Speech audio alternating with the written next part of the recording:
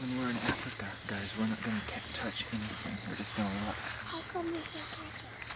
We can, but we're not going to. Because it might be? No, because we're just we're here to just look.